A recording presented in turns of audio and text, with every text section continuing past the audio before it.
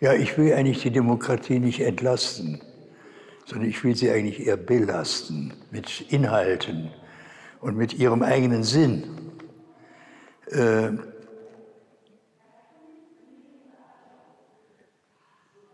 die Volksabstimmung ist in diesem Kontext eigentlich nichts anderes als ein Instrument unter vielen Instrumenten, wenn auch ein sehr wichtiges Instrument, weil durch die Volksabstimmung ja direkt durch jedes einzelne Stimme äh, ein, eine Entscheidung getroffen wird. Eine verbindliche, für alle verbindliche Entscheidung über Mehrheitsbeschluss. Aber damit sind wir genau schon an dem Punkt. Ich glaube nicht, dass man die Demokratie äh, hinreichend mit dem Begriff Herrschaft der Mehrheit wirklich erfasst. Vielmehr glaube ich, dass die äh, Demokratie dadurch immer äußerlicher gefasst wird. Also in dem Moment quantitativ. Natürlich ist das schon richtig mit der Mehrheit, aber ich glaube, daraus bekommt die Demokratie keine wirkliche Energie. Die, die Energie kommt aus, dem, aus einer inneren Beschreibung der Demokratie. Und die innere Beschreibung der Demokratie lautet Gleichberechtigung. Das heißt, jeder Mensch hier auf dieser Erde ist mit anderen Menschen gleichberechtigt. Und das ist der wirkliche innere Grund der Demokratie.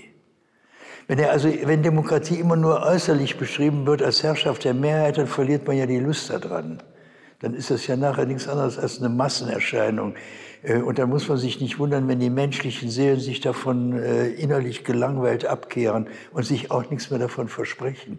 Wir müssen zurück, wir müssen wirklich auf den Ursprung der Demokratie, nämlich auf die innere Idee der Gleichberechtigung.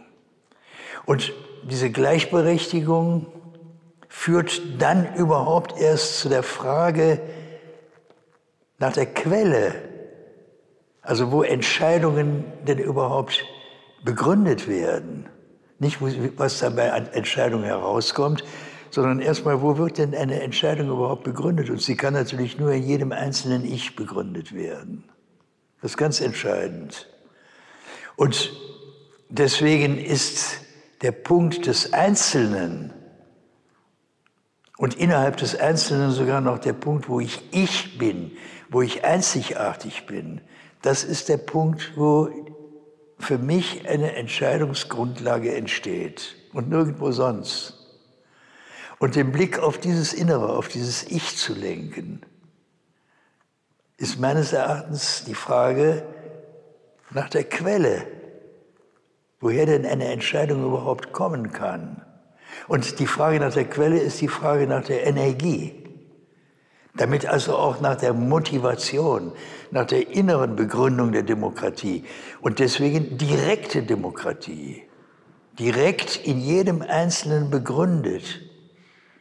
Und nicht weiter immer nur delegierbar auf eine höhere Ebene, in der ich persönlich nicht mehr zuständig bin, wo ich dann andere für zuständig erkläre, die es aber eigentlich auch nicht sind. Man muss einfach sehen, dass der Parlamentarismus und die Parteiendemokratie äh, auslaufen. Die funktionieren nicht mehr. Die liefern keine wirkliche Motivation mehr, keine Energie mehr, keine Lust mehr. Und äh, sie ist sozusagen eine Stufe, die um die nächste jetzt anliegende Stufe erweitert werden muss. Wir müssen jetzt in der Frage der Demokratie eine Stufe weiterkommen, uns weiterentwickeln, auch innerlich weiterentwickeln, in die direkte Demokratie. Und nur dann wird die Demokratie auch wieder eine Art von wirklicher innerer Motivation sein und übrigens jedem Menschen vermittelbar. Nicht solange das nicht der Fall ist, wird die Demokratie oder der Name äh, äh, der dafür benutzt wird, für Systeme, die in Wirklichkeit aber schon gar keine wirklichen Demokratien mehr sind, sondern im Grunde genommen Parteienherrschaften. Man könnte schon fast sagen Parteiendiktaturen, also Fremdbestimmungen, dass dann die Demokratie zu Ende ist, dass sie abstirbt. Und das müssen wir unter allen Umständen verhindern. Also wenn es um die Demokratie geht, müssen wir sie jetzt wirklich erneuern um die nächste Entwicklungsstufe. Ich weiß nicht, ob man das versteht, aber es ist auf jeden Fall in sich selber stimmig. Und darauf müssen wir jetzt immer mehr kommen. Wir müssen uns gegenseitig dazu verhelfen. Und diese Frage der Gleichberechtigung ist eben keine, die man einfach nur verordnen kann per System, sondern die Gleichberechtigung kann man nur dadurch entwickeln, indem man sie dem anderen schenkt. Sie muss sozusagen von jedem erzeugt werden, damit der andere an ihr teilhat. Das ist eigentlich der Sinn und das Wesen der Demokratie. Und zwar zum jetzigen Zeitpunkt, ganz aktuell.